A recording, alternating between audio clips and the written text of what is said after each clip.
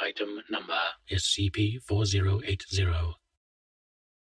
Index Spotlight. Object Class Safe. Special Containment Procedures. Broadcasts of SCP-4080 are to be intercepted and blocked from public viewing. All broadcasts are to be reviewed prior to being stored. The Foundation is to monitor SCP-4080-1 discreetly for any potential links to the source of SCP-4080.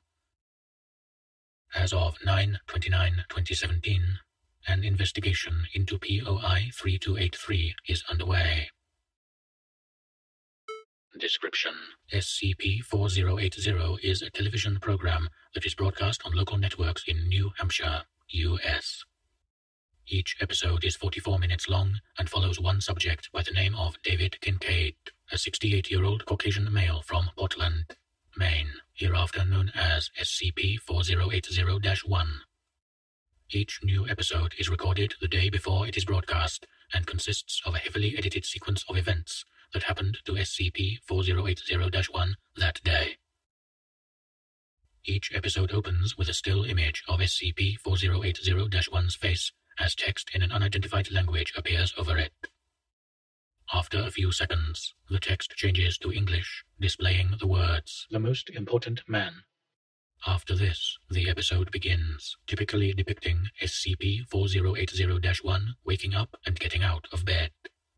SCP 4080 1's life tends to be fairly standard, and episodes rarely highlight anything that could be considered of note or importance with some exceptions, such as vacations to visit his grandchildren. Most episodes consist of SCP-4080-1 eating breakfast, driving to his woodworking shop, working, eating lunch, driving home, and eating dinner. At no point during the day does SCP-4080-1 ever address the fact that they are being filmed. Nor do they seem aware of this fact, even in situations and locations where a camera would be noticeable. Addendum 4080-1 on 9-28-2017.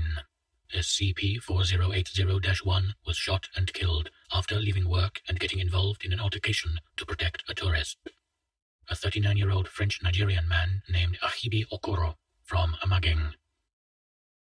The subsequent SCP-4080 episode, released on 9-29-2017 featured the words Series Finale in addition to the traditional opening text of SCP 4080 episodes.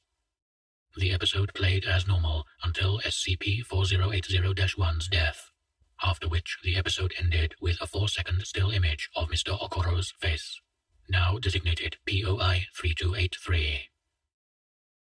Since SCP 4080 1's death, Episodes of SCP-4080 regarding their life have been rerun, starting at the moment they were born.